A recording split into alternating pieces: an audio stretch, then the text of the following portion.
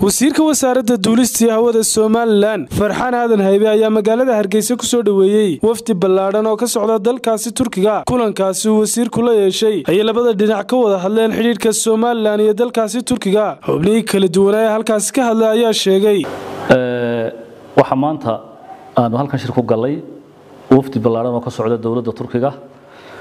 Wafdigaasi laba qaybood buu isugu jiray.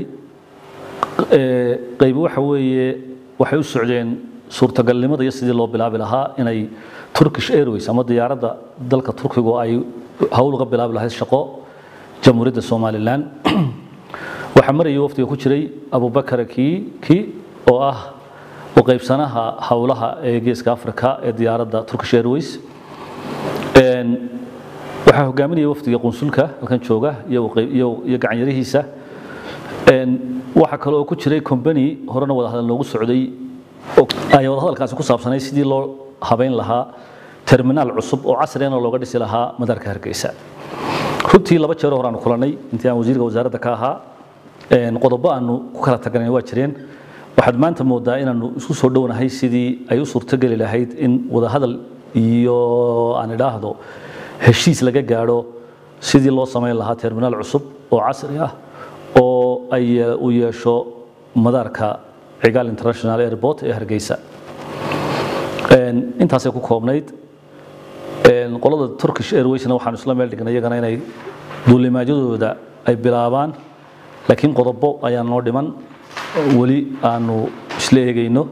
Haddii kuwaasi noo suurto galaan waxay noqonaysaa inay duulimaad toos oo yuruba bilaabaan oo ah jabuuti hargeysa istanbul. Ama noqdaa istanbul hargeysa jabuuti marka weli halkaas wadahadal baa noo dhiman waananu xalinaynaa insha allahu tacaala. Wafdiguna maanta shalay buu yimi maantana waa nala joogayaa berita waa noqonayaa. Waxaanu isla hindisayaasha iyo qorshayaasha annagoo tixgelinaynaa tirada basanjarkanu haysano sannadkii diyaaradaha heshiiska hore ugu jiray ixtiraamayna iyo sidoo kale aan noogu eegaynaa baahida loo qabi karo in diyaaradda cusub timaado iyaduna fursad wanaagsan u ah somalilan labadaas sidii ay isu qaban lahayn anagoo ka fakarayna labadaba isku ilaalinaynaa ayaanu ayaanu si guud ahaan imaka aanu isla gaadhnay inay duulimaadyadooda ka bilaabaan madaarka hargeysa. Laakiin wixii technicality wali waa noo harsan yahay inay muddo qaatana waa laga yaabaa biidn illaah ta kale ee terminaalkana iyadana si guud waanu isla waafaqnay qodobo yararoo muhiima baa noo dhiman. Kuwa haddaanu isla meel dhignana waxay noqonaysaa inaanu heshiis iskaashi ka gaadhno.